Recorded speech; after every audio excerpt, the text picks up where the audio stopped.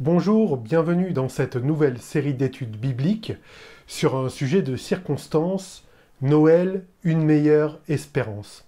Alors les espoirs sont nombreux hein, à l'approche de Noël. Par exemple, un enfant peut se demander euh, vais-je avoir droit au nouveau jouet à la mode? Un adolescent, lui, euh, peut se demander la nouvelle PlayStation sera-t-elle au pied du sapin? Un adulte, quant à lui, peut se dire et espérer, par exemple, ma belle-mère a-t-elle enfin compris, après tous ces Noëls passés en ma compagnie, que pour la circonstance, je préfère la dinde au poulet rôti?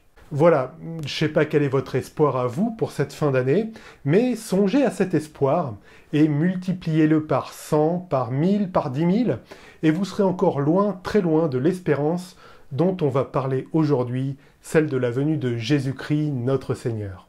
C'est une espérance qui remonte à l'aube des temps qui a traversé l'histoire biblique. L'Ancien Testament contient des livres rédigés par les prophètes de Dieu. Ces prophètes ont été assermentés pour parler au nom de Dieu, pour euh, transmettre la parole de Dieu, les oracles de l'Éternel. Parmi ces oracles, certains étaient source d'espoir pour le peuple d'Israël. Aujourd'hui, on vous propose de parler un peu de paroles d'espoir qu'on trouve au chapitre 7 du livre d'Ésaïe. Ésaïe prophétise durant le règne d'Akaz, on est en plein 8e siècle avant notre ère, et le contexte est un peu tendu hein, à cause des menaces de l'Empire assyrien. Akaz est vraiment privilégié, mais il refuse une grâce euh, qui lui est faite.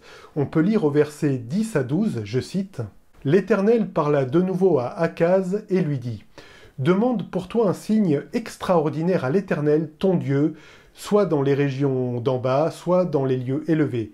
Mais Akaz dit Je n'en demanderai pas, je ne veux pas forcer la main à l'Éternel. La grâce faite à Akaz n'a d'équivalent que son hypocrisie. En effet, l'Éternel offre une opportunité énorme au roi. Il lui propose rien de moins qu'un signe extraordinaire. Et Akaz refuse avec un prétexte qui n'est qu'une excuse. Ça nous place devant la première piste de réflexion que je propose pour cette étude. La question à nous poser est accepte-t-on toujours les cadeaux de Dieu ou est-on endurci un peu comme Akaz à refuser ses promesses? Alors, la Bible regorge hein, de promesses merveilleuses du Seigneur. Jésus dit que nous sommes le sel de la terre et la lumière du monde. On peut lire ça au chapitre 5 de l'Évangile selon Matthieu. Nous sommes le temple de Dieu. Pour être corporate, je dirais, euh, vous êtes le temple, et c'est pas rien. Paul affirme ça dans la première lettre aux Corinthiens.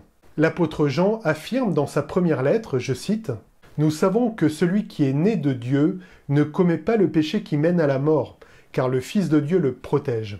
Aussi, le diable ne peut-il rien contre lui. Alors, on lit ces promesses, nous entendons ces promesses dans les prédications, mais est-ce qu'on les a vraiment intégrées? Je pense que parfois il peut nous arriver bah, d'oublier ces promesses de Dieu et bien d'autres promesses d'ailleurs que je ne peux pas citer ici, euh, voire parfois on les refuse. En gros, il peut arriver parfois qu'on se dévalorise soi-même. Ce sont pourtant les promesses les plus sûres qui existent. Elles nous viennent de l'Éternel, notre Dieu. Akaz a refusé la grâce immense d'un signe merveilleux de Dieu.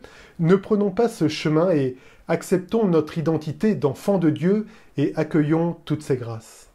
Évidemment, parfois c'est un peu plus difficile. On a du mal à vraiment faire sienne ces promesses, et c'est justement parfois bah, l'occasion d'échanger dans les groupes de prière, de partager peut-être les expériences, pour que chacun soit pleinement convaincu de l'amour et de la pleine attention que nous porte notre Seigneur. On poursuit la lecture, et on arrive au signe promis par l'Éternel par la bouche de son prophète Ésaïe. Après avoir rappelé que les rois mettaient à l'épreuve la patience de Dieu euh, et des hommes avec leurs agissements, Ésaïe déclare, je cite, C'est pourquoi le Seigneur vous donnera lui-même un signe. Voici, la jeune fille sera enceinte et elle enfantera un fils. Elle lui donnera pour nom Emmanuel, Dieu avec nous. Il mangera de la crème et du miel jusqu'à ce qu'il apprenne à rejeter le mal et à choisir le bien. Alors rappelez-vous, hein, Akaz a refusé un signe extraordinaire. Il est prophétisé une chose encore plus grande, la naissance d'un enfant. Dans l'acceptation du terme employé au verset 14, on lit jeune fille, dans le sens fille non mariée. C'est donc une annonce de bonne nouvelle que fait Ésaïe en prophétisant ce qu'il y a de plus réjouissant, la venue d'un enfant. C'est tellement réjouissant que ce verset est repris dans sa version grecque par l'évangéliste Matthieu au verset 23 du premier chapitre pour annoncer la venue de notre Seigneur Jésus. C'est bien la meilleure des nouvelles qui est annoncée à Noël, celle d'une naissance et pas n'importe laquelle, celle de l'Emmanuel, littéralement Dieu avec nous. On en vient à la deuxième piste de réflexion. Comment annoncer une bonne nouvelle? Et je veux dire une vraie bonne nouvelle. Alors, Jésus est né il y a plus de 2000 ans, et à l'époque, la bonne idée pour annoncer sa naissance a été de rappeler ce signe extraordinaire prophétisé par Ésaïe. Mais aujourd'hui, que fait-on pour annoncer cette bonne nouvelle de la naissance de notre Seigneur? Comment, simplement, évoquer le vrai sens de ce que nous fêtons en cette fin d'année?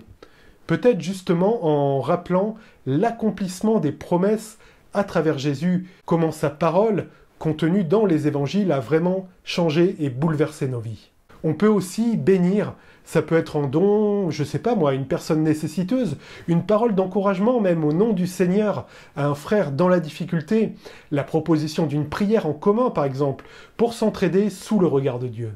On peut ajouter bien d'autres idées pour matérialiser et annoncer cette bonne nouvelle. Je vous propose d'en discuter dans les groupes de prière.